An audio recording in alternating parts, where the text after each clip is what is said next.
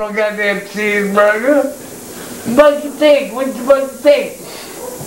I'm on the poor side of the track. Huh? I pardon you. Pardon me. I ain't pay no six dollars fifty cents for no cheeseburger, sir. Well, good. Then I won't buy him then.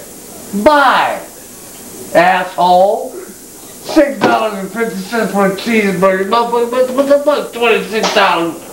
Fuck that shit.